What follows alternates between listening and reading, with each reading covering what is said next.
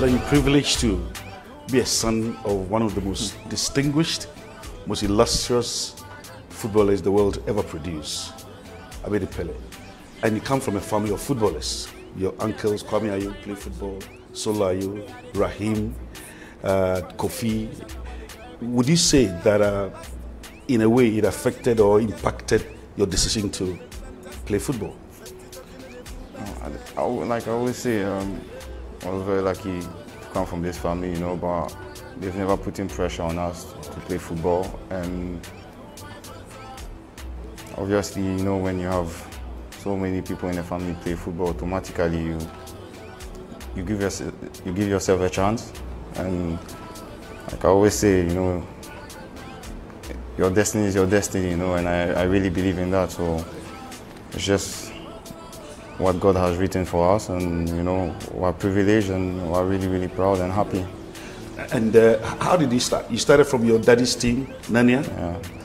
So basically, uh, at the beginning, I didn't really wasn't too interested in the game, and you know, I was just interested in playing with my friend, with the friends in the area and everything. So I didn't really like to go to training. I didn't like running too much.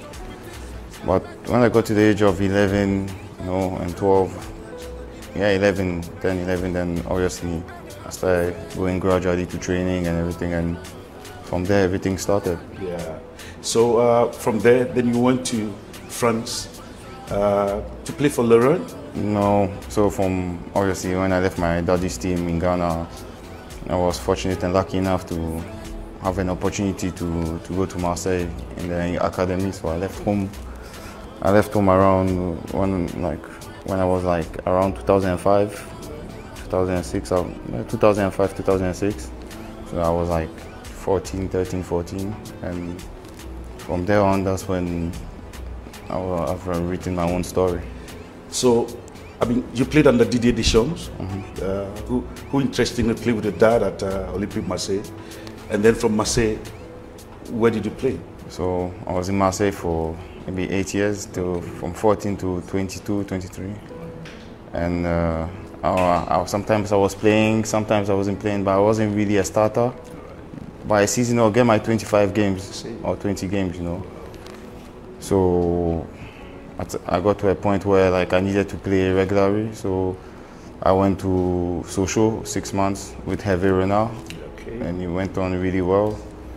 Then well, Hervé Renard, yeah. the one who at a point came to Ghana to be the technical. Uh, exactly, the Zambian coach, the Ivory Coast coach. So he's the one who brought me to Sochaux and made me see football in a different way. Okay. And from there on, then obviously when I it was a really really good experience for me. So I didn't really want to come back to Marseille and not really play, you know. So obviously I decided to to move to Lorient, and after that, that's when like my breakthrough started. My breakthrough was really confirmed, you know, and I proved myself in the French league. I scored goals, and you know I was a key player in the squad, and from there on, then I had the opportunity to go to England, and I went to um, I went to Aston Villa. Obviously, I stayed a year and a half. Very bad season, very complicated because we went down and everything, and you know, stuck stuck to it. Had opportunities maybe to come back to France, or, but I wanted to prove myself and then move to Swansea um, another relegation side, and you know stayed a year and a half there as well because I uh, got there in January, managed to stay up, and then the following season we went down.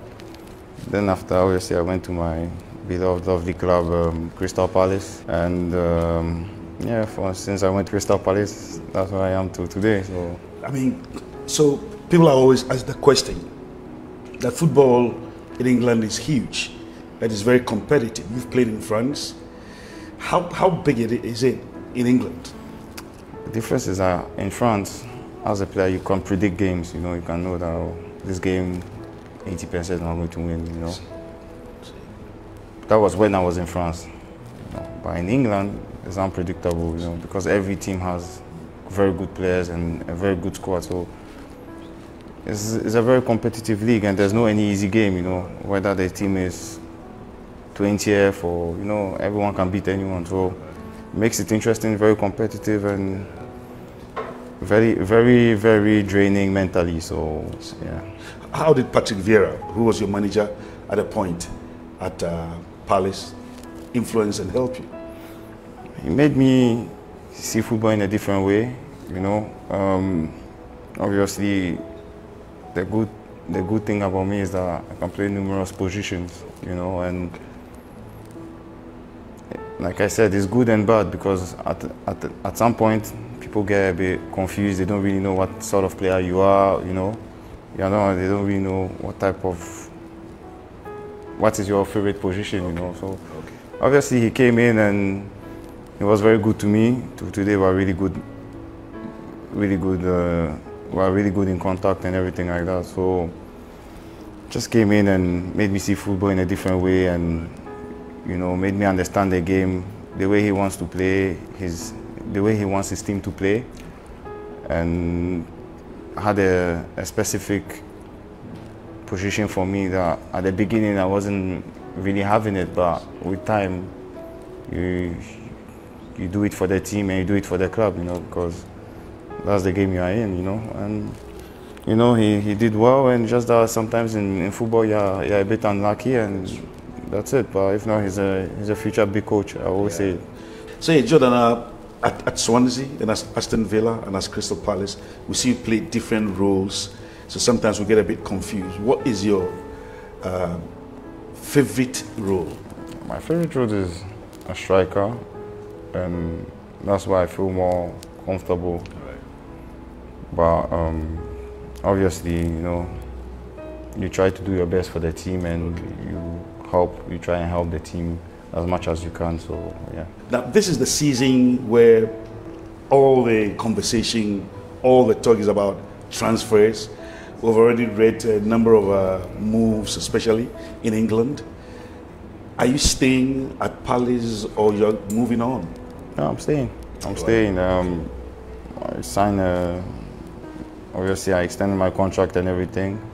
Um, I'm really happy there. I'm really comfortable there. I'm really appreciated at the club, so I don't see why I should I should move. Um, but you know, in football, you never know what can happen. But as at now, uh, I'm a Palace player, and I'm looking forward to the new next season. We'll talk about the Black Star, but before that, I want to talk about your dad and your mom. I know. Uh, what influence did they have on you? Does your dad follow you that closely, and your mom? How often did they talk to you? And how have they really influenced your career? Oh, you know, like I always say, you know, my dad and my mom, uh, if we're here today, it's because of them, you know. And uh, I can't stop speaking highly about them because they've been so influential in our success. And, um, you know, they the quality that they have is that they find the right balance, you know, in terms of communication, in terms of in, in, terms of every, anything that has to do with their kids, you know, and you know that's what makes us happy, and that as well makes us so close, you know. So you know, I always say that you, it's a dream to have parents like that, you know, and I'm really blessed. We are we are blessed as my our family, and you know we, we hope we will continue, and you know everything is going on well, so we're all happy. Yeah, you, you know, as you said, of course, uh, you must be very very blessed to be the son of the maestro, the, I mean Pele, the legend Pele, but it also comes with some pressure because every now and then people will make comparisons. And your daddy, three-time Africa best footballer, uh, one of the most iconic figures ever to emerge from the world do you come under pressure when such comparisons are made? No, no, I don't come under pressure because first of all, my dad has done his his part and he did it very. So it's impossible to even get to that level. Okay. I always say it and I'm open. But what I can do is to make a name for myself and to try and be as good as I can and to represent the family as high as possible. Um, so that's so the pressure is always there, you know, because football is a sport of results, you know, and when the results don't come, you get you, you get criticized and everything. But it's a game, you know. But um, come back to my, my dad, you know, it's impossible to get to his level, you know, like, come on. so what I always tell, tell myself is that I need to just make a name for myself and represent the family as best as I can, and that's what I'm trying to do. Yeah. Now we talk about the national team. Uh, only about um, just over a week, you played against Madagascar mm-hmm. uh, in Antananarivo. I was privileged to watch that particular game.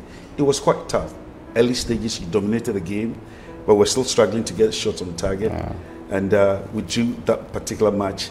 After the match, uh, the manager of the side uh, spoke about the uneven nature of the pitch. Was it a case that the pitch affected you, or the fact that you really, really could not, you meaning the entire team, struggle to match their pace? You know, you know, in football sometimes, you know, like I said, you know, sometimes you win, sometimes you lose, you know. But obviously, the pitch had an effect, affected us a little bit, but that's not and you know. So it's a gradual process. I know it's not easy because obviously your time and years behind you, you've seen if we had won that game, if Ghana had beaten Madagascar, it would have sealed um, qualification for the next Cup of Nations to be hosted by Cote d'Ivoire. Now, it puts so much pressure on you because you must win your game against the Central African Republic to ensure qualification. How, how, how tough is that? The thing is that for like maybe two, three years now, we're learning the hard way, you know, we're not getting things easy. It, it's amazing. I'm sure many people will be surprised to know that uh, so soon you're playing your 90th game for the Black Stars. How exciting is that? No, you're now telling me I didn't, I didn't really even know. Didn't know I don't really, right. I don't really watch those things. You know, um, I just focus on each game as it comes. I take what, I take it as it comes, and um, you know, I'm, I'm proud. I'm not gonna lie, I'm proud because to play 90 games is a big thing, and you know I'm I'm still young, and and yeah, I'll keep pushing, and you know keep pushing because 152. How does it feel? Always playing alongside him because you joined the national team two years after he had joined. How does uh, how, how do you, does it normally feel playing alongside him? Know. It's a lot of you know, pride and you know, it's like like I always say, it's like kids, a dream come true, you know. So we enjoy. It's not going to last forever, but we're enjoying it, and we know that like we, we still have more years. So we enjoy playing together, and we've been lucky to have played together and even club at, at our club level as well. So you know, is like I said, we are, we are blessed. We cannot ask for too much because honestly, like what we we have achieved is is really positive, you know. There's more to come, I'm, I'm convinced, but, uh, you know, it's always a, a pleasure and a, to play alongside my brother, and obviously, you know, for my, my family and friends, it's more than a, a pride, you know, happiness, you know. You know, the last Cup of Nations was very tough for all of us. I mean, I don't remember the last time we exited at the preliminaries. Uh, if my memory serves me right, since 84. We never exited the preliminaries. We're all hopeful of winning the last Cup of Nations. Unfortunately, we exited. We can't cry over spilled milk. We're hoping that we'll qualify. What are your expectations for the team getting into the Cup of Nations? Yeah, like I said, we need to learn the hard way. You know, it was it was not good because since I've been in the national team, it has never happened to me. And that tournament was a very, very big wake-up call for everyone. Apart from your dad, who obviously has had a huge influence on you, which footballer would you say uh, is really inspired you? You know, when I was young, I was always looking up to, you know, strikers. You know, like Would say, to our continent brothers like Eto'o, Drogba, you know, Adebayor. Um, then you have Zlatan, Ibrahimovic, you have, you know. So obviously, I always say Eto'o because the time he was at Barcelona was amazing, you know. What he did was amazing, you know, and he's been a really, really big influence to we, the young Africans, and obviously to to make Africa proud, you know. So Drogba as well, you know. So those two uh, have done it, have done it, and have raised the continent really, really high. So, you know, I cannot go and say that now maybe it's Wayne Rooney or someone. It's not that they've been great players, but I always look at our big brothers and what they've done. Yeah. And what would you say, uh, briefly, has been your proudest moment as a footballer and your lowest point? Hmm. Proudest